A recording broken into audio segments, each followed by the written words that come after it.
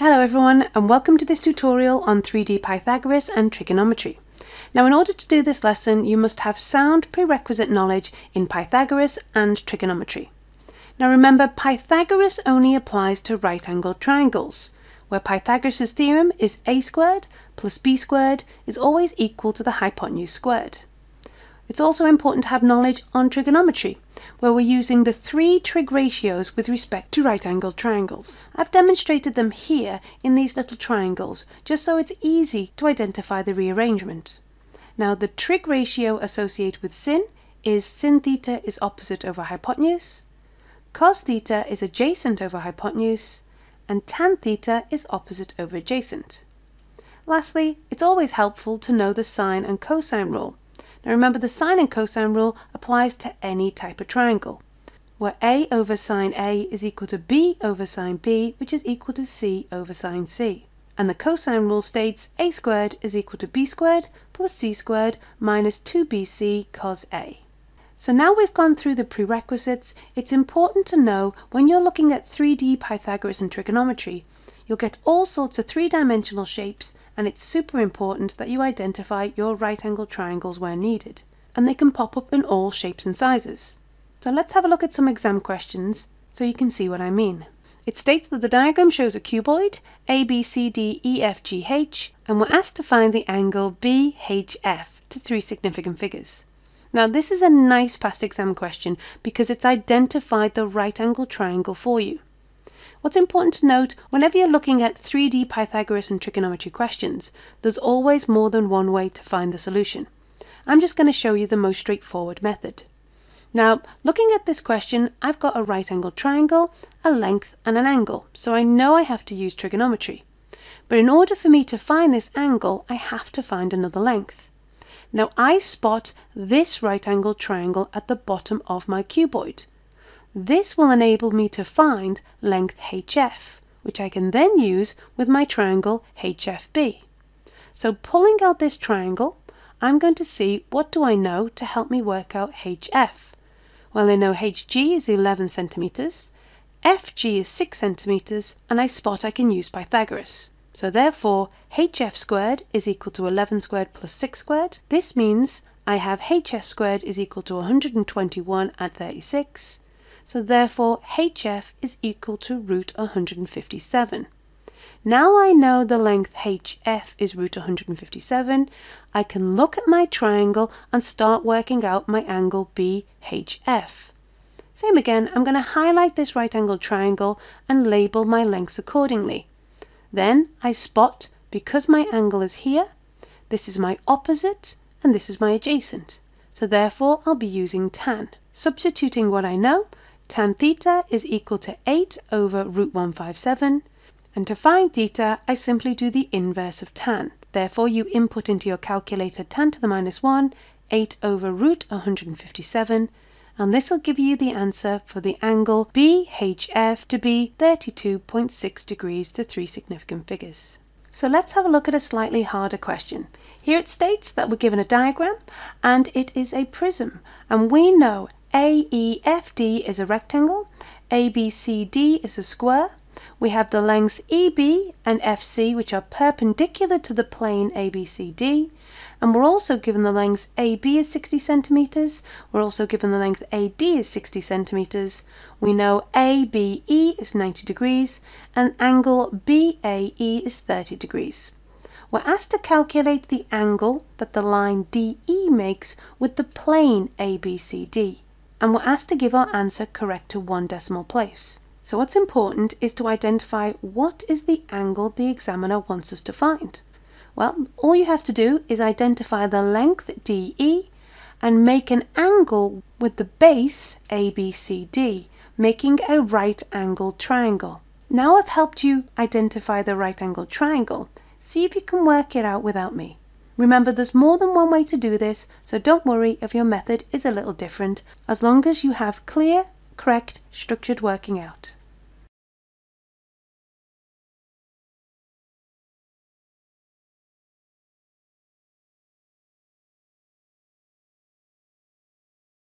So looking at our right angled triangle, I need a bit more information in order for me to find out what theta is. So looking at my diagram, I can spot I have another right angle triangle at the base of our prism, which will enable me to find the length dB. So pulling out this right angle triangle, I can see I've got length DA is 60 centimeters and AB is 60 centimeters. I spot Pythagoras' theorem again. So therefore, dB squared is equal to 60 squared add 60 squared. This is equal to 3600 add 3600, which is then telling me dB is root 7200. Simplifying this gives me dB to be 60 root 2. So now I know dB is 60 root 2. So this will definitely help me find out what theta is. But I need a bit more information. I also spot another right angle triangle here, triangle AEB. Remember the question did tell me that this is 30 degrees. So I can use this right angle triangle with the angle 30 degrees and length 60 centimeters to help me find length EB. So spotting that I need to find length EB, I can see this is my opposite and my adjacent. So therefore I'll be using tan. Given the fact that I need to find the opposite length, I have to do a rearrangement. So you can use these triangles if you want, and I can see to find the opposite, it's simply tan theta multiplied by the adjacent. Substituting what we know, well I know BE is the opposite, which I need to find, tan 30 multiplied by 60. Therefore, I can work out BE to be 20 root 3. So now I know BE is 20 root 3, and I know DB is 60 root 2, I have another right angled triangle and I can use this right angled triangle to find theta. Once again, I've got my opposite and adjacent, so I need to use tan. Substituting what I know, well, the angle is theta, my opposite is 20 root 3, and my adjacent is 60 root 2. To find theta, I must do the inverse of tan, so inputting into your calculator tan to the minus 1, 20 root 3 over 60 root 2, gives me a final answer of theta to be 22.2 degrees to one decimal place. Remember, you may have chosen a different method to get the answer as long as you're getting the correct answer with correct structured working out. So looking at a different 3D shape, we have A, B, C, D, E is a square-based pyramid. It states that AE is equal to BE, which is equal to CE, which is equal to DE, which is also 12 centimeters. We also know AB is 15 centimeters. The question wants us to work out the size of angle DEB, giving our answer correct to the nearest degree. See if you can give it a go and press pause if you need.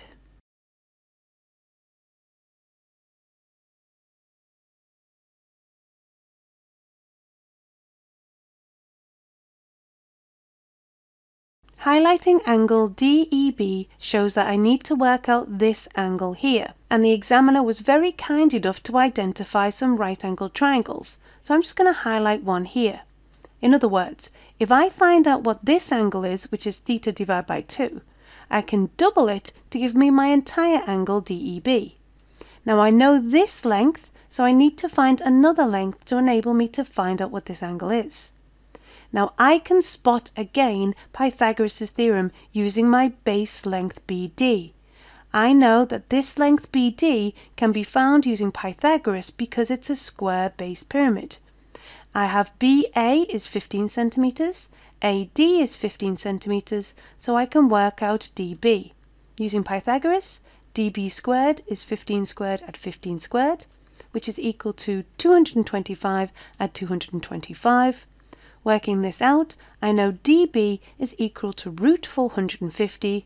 Simplifying, I know dB is 15 root 2.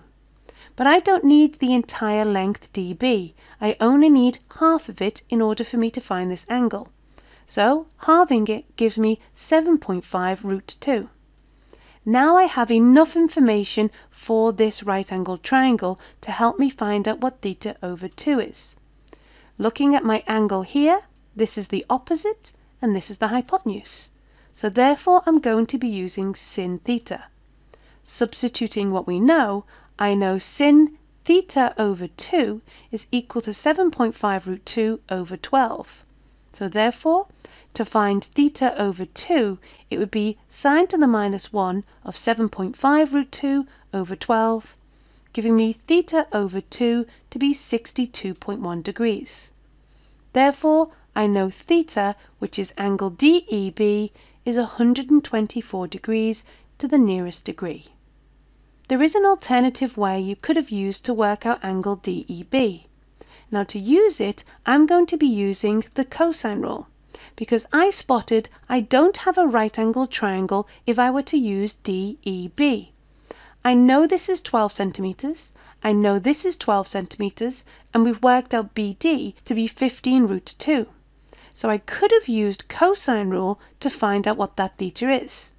Substituting in terms of B, D, and E, to find theta, it would be cos theta is equal to b squared plus d squared minus our e squared over 2bd.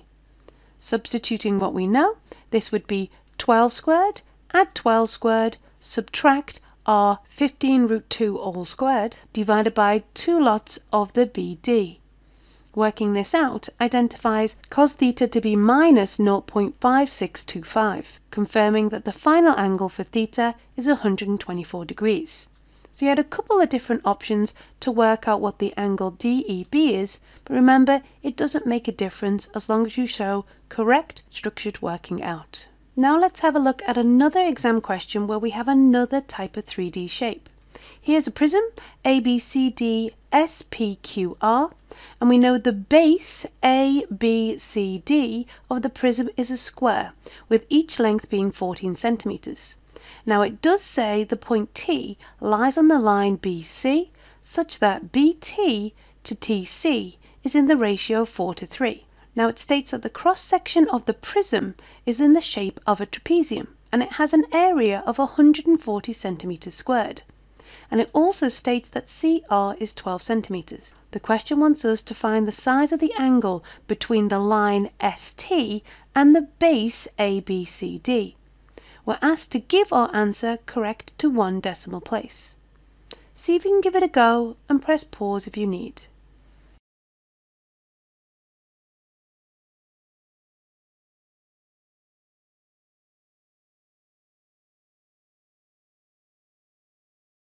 First of all, let's identify the angle between ST and this base ABCD. Here we have our right angled triangle, where this angle theta is made between the ST and our base. Now with these tricky questions, I always say to my students, do one sentence at a time. So let's start with using our 14 centimeter length BC and splitting it in the ratio of 4 to 3. So knowing we need to divide 14 centimeters in the ratio of 43, this means 14 centimeters is equivalent to a total of 7 parts, because 4 parts and 3 parts is 7 parts. Therefore, let's find out one part by simply dividing both sides by 7, giving me 2 centimeters is one part. Now if I know 2 centimeters is one part, and this represents 4 parts, therefore I know one length has to be 8 centimeters, because 4 multiplied by 2 is 8. The other length is 3 parts, so I simply multiply 3 by our 2 to give me 6 centimeters. So therefore, we know BT represents 8 centimeters and TC represents 6 centimeters, giving me a total length of 14 centimeters, where the lengths BT to TC are in the ratio of 4 to 3. So now we know some lengths, let's see if this helps us at all. Well, in order for me to find any length associated with this triangle, I need to find maybe DT. And I can spot another right angled triangle right here. I know that I can work out DT because I have a right angled triangle made from D, C to T.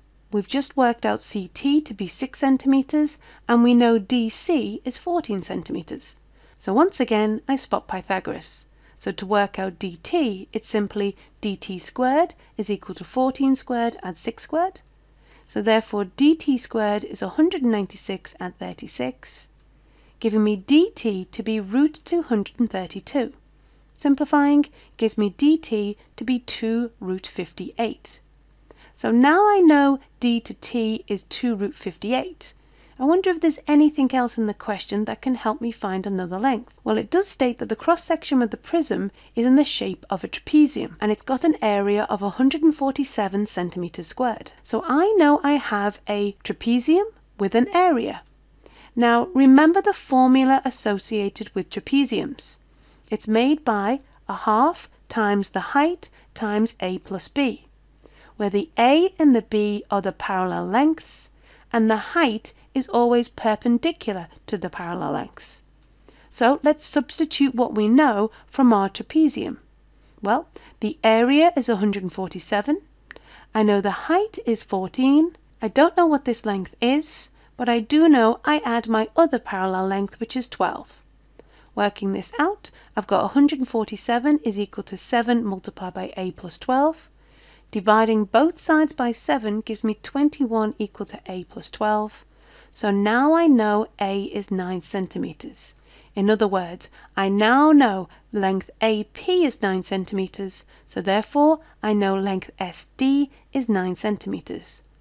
Now I have my right angled triangle with a couple of lengths to enable me to find out what theta is.